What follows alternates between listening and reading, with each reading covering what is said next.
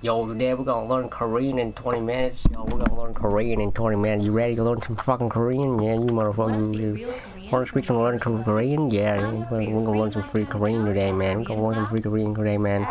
Come on, mình rồi cái bắn cái bóng ngon bắn cái bóng bóng bóng bắn cái đinh bóng ngon cơ đi em ra luôn muốn cả gu bắn bắn bắn panda Hangawa means nice panda espresso yo arigato. Now you try now you try it. it arigato I want to get some pandas I'm gonna eat some pandas today Bakawa Bakawa Bakawa version. Well, that's enough Korean for today. We're gonna go back to the next video. We're gonna learn some more Korean today. Hey, you wanna learn some Korean? pretty awesome. What? I don't know what you say.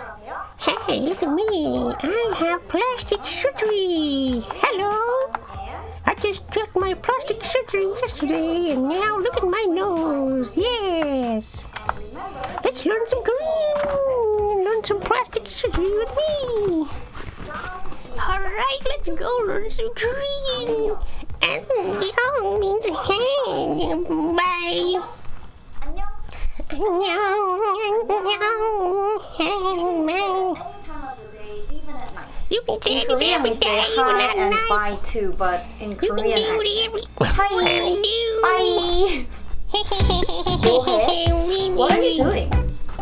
It may sound weird, but Koreans start conversation by saying bohe a lot, and usually through texts. Oh. Hey. How are you? Trả lời When bây you giờ translate 잘 지내 directly, it's more like Are you doing well? You can say 잘 지내 after 안녕. 안녕? 잘 지내? Hello? How are you doing? Hello, how are you? 잘 잤어? Motherfucker. Good morning.